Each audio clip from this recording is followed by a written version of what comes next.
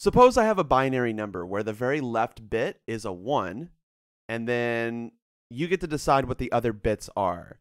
Now, if you were to construct as large of a binary number as possible, what would you put in the rest of the placeholders? And if you were to try to build the smallest possible binary number, what would you put in these placeholders? And you have specifically n bits.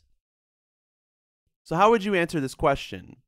Well, think about how you would answer this question in base 10.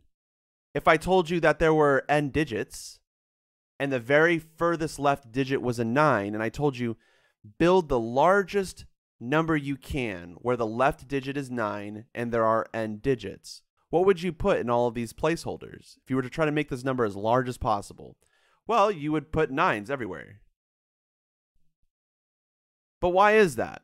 Well, because if you put an 8 or a 1 or anything else anywhere else, then the number 99999 would be even larger because you have an extra power of 10 here. So the way we answer this question is the same way we answered this question. To, to construct the largest possible binary number using these placeholders, we would want to put as many ones as possible so that we can have as many powers of two. So if we place ones in all of the placeholders, that would give us the largest value of m that we can possibly have.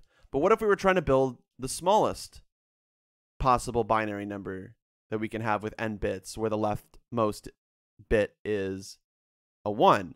Well, let's talk about base 10 again. What if we were trying to build the smallest possible number where the leftmost digit was a 9? Well, we'd want to put zeros in all of the placeholders here so that we can get the smallest possible number.